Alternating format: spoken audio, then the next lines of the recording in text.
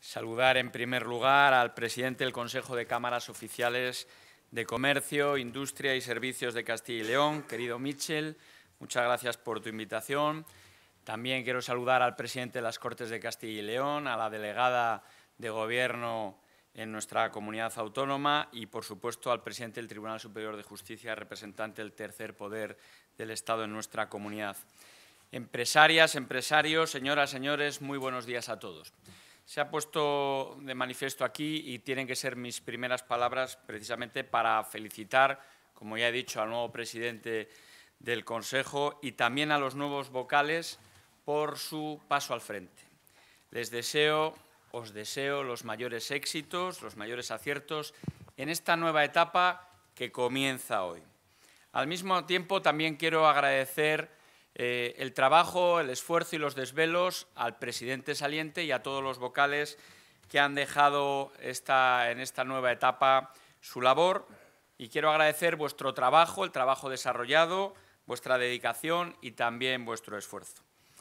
Se ha insistido, es una nueva etapa, vivimos en unos nuevos tiempos y además esta nueva etapa y en estos nuevos tiempos eh, tenemos que afrontar grandes retos. Por un lado, la inestabilidad política en la que nos encontramos en nuestro país, los avisos de desaceleración económica por la situación económica mundial, Brexit, la guerra comercial chinoamericana.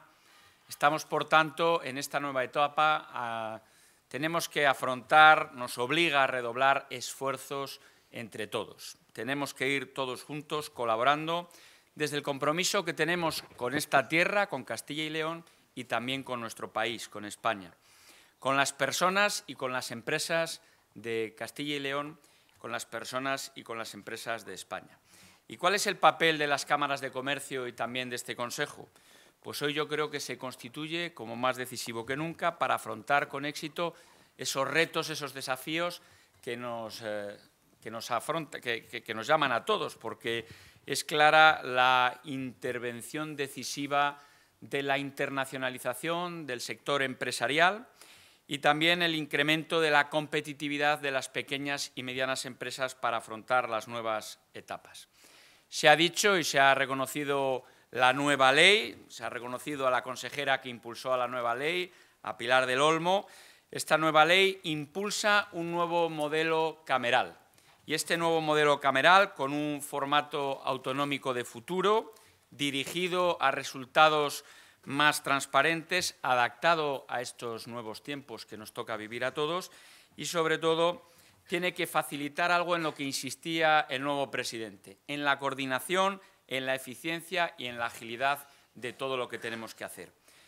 Este nuevo modelo tiene que ser objeto de desarrollo reglamentario y ahí el consejero de empleo, como administrador tutelante, su capacidad de diálogo y de liderar estos procesos tiene que profundizar en aspectos fundamentales relativos al régimen jurídico de las propias cámaras, por un lado, a la organización que tenéis, de la que os tenéis que dotar, y también el régimen económico y presupuestario del que os tenéis eh, al que se os tiene que aplicar. Un modelo que debe facilitar a las cámaras reforzar su protagonismo para dinamizar la actividad económica y empresarial en nuestra comunidad autónoma. Porque cuestiones como la economía circular, sostenible e incisiva, las tecnologías digitales y la apertura de nuevos mercados, exigen a nuestras empresas, os exigen a vosotros, que apostemos por la formación, por un lado, por la innovación y también por la internacionalización, que ese es el objetivo de este Consejo de Cámaras. Ahí es donde las cámaras, desde luego, tenéis que dar el do de pecho y podéis ofrecer a las empresas el respaldo y el empuje necesario para que ganen competitividad, para que las empresas de Castilla y León sean competitivas en estos nuevos tiempos de la economía que nos toca vivir. Y en esta importante labor vais a seguir contando con el apoyo y la colaboración del Gobierno regional, de la Junta de Castilla y León, y muy especialmente eh, a la consejería ya citada, la de Empleo e Industria como Administración tutelante, pero no puedo dejar de recordar también la Consejería de Economía y Hacienda y la Consejería de Educación en las distintas acciones que desarrolláis y en los servicios que prestáis. Algunos ejemplos, facilitando la creación de empresas, llevando a cabo la red de oficinas de apoyo a la creación de empresas, poniendo a disposición de los emprendedores, a través de la red de mentores, personas especializadas y con experiencia para que faciliten la sucesión empresarial. En tercer lugar, eh, apostar por las acciones formativas, porque eso va a permitir reforzar, por un lado, la productividad y, por otro lado, también la competitividad de nuestras, de vuestras empresas. Facilitando la promoción exterior, algo muy importante en estos momentos y con gran turbulencia por la preocupación que genera no solo la guerra comercial chinoamericana, sino también la política insensata de los aranceles del gobierno americano. Eh, por tanto, hay que apostar por ese plan de internacionalización. Y, por último, hay que facilitar la implantación de la digitalización de la economía como un elemento determinante para que las empresas seáis más competitivas. Iniciativas en las que, insisto, vais a tener siempre de vuestro lado al Gobierno de la Junta de Castilla y León.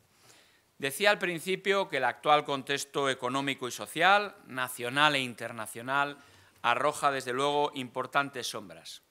Sabemos que las incertidumbres no son buenas compañeras a la hora de tomar decisiones en el ámbito empresarial, pero también sabemos que la mejor fórmula para generar actividad económica, para crear puestos de trabajo, eh, es generar un, contexto favorable, un contexto estable para que las empresas, las pymes y los autónomos puedan seguir desarrollando su labor.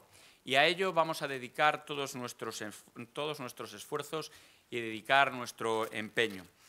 Por ello, a lo largo de la legislatura vamos a poner en marcha una serie de iniciativas. Por un lado, el Plan de Crecimiento y Consolidación para pymes con una inversión de al menos 200 millones de euros para generar 4.000 empleos. En segundo lugar, una nueva estrategia de emprendimiento, innovación y autónomos con 700 millones de euros de impulso, de apoyo, de colaboración en la creación de empresas y también eh, colaborar con los autónomos en la extensión de la tarifa plana a los autónomos contando también con una nueva estrategia de modernización, innovación, digitalización del comercio de nuestra comunidad autónoma y, por supuesto, seguir impulsando los planes de revitalización industrial. Eh, también las últimas palabras de medidas que quiero destacar es favorecer la economía con una política fiscal moderada una fiscalidad inteligente que va a tener entre sus primeras medidas la supresión del impuesto de sucesiones y donaciones de padres a hijos en un 99%. Estas son las tareas que nos hemos marcado. Necesitamos la participación activa de las cámaras de comercio, industria y servicios de nuestra comunidad autónoma. Castilla y León os necesita.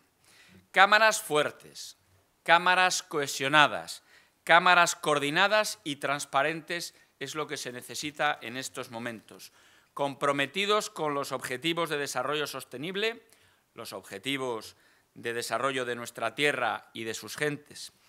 Los nuevos vocales que habéis tomado hoy posesión de vuestros cargos tenéis por delante numerosos desafíos y una gran responsabilidad. Os doy por anticipado las gracias por todos vuestros desvelos, el trabajo que tenéis por delante. Y quiero deciros, vuestros éxitos, vuestros aciertos, serán los éxitos y los aciertos de todos nosotros. Muchas gracias, buenos días.